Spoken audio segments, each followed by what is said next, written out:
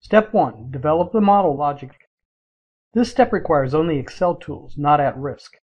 You must first develop the logic of the model in the usual way, using typical Excel formulas. This has already been done for you in the financial model, and you can review the Excel formulas. This model is then a starting point for the at-risk analysis. The values you are interested in analyzing, your bottom lines, will become the output cells in at risk. The values that are uncertain will become input cells in at risk. In this model, you are evaluating an investment project. There is an initial investment, followed by future years of revenues, associated variable costs, and fixed costs.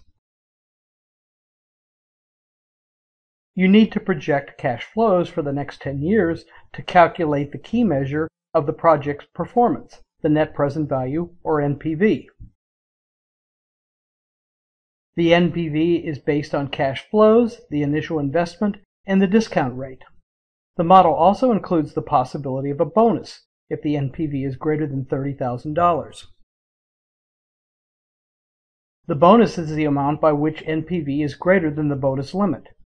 You can look at the Excel formulas in rows 22 to 30 of the model sheet.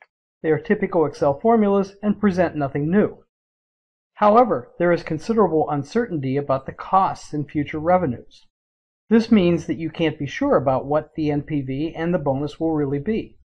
This is where at-risk comes in. As you will see, at-risk can help you assess the probability of negative NPV, positive NPV, whether you have a bonus or not, and more. You will also be able to uncover which of the uncertain inputs contributes most to NPV, information that might help you choose a more profitable strategy. Now it's your turn. Stop this video and then take a few moments to look at the formulas in rows 22 to 30 to make sure you understand the logic of the model. It is all correct, so you don't need to make any changes at this point.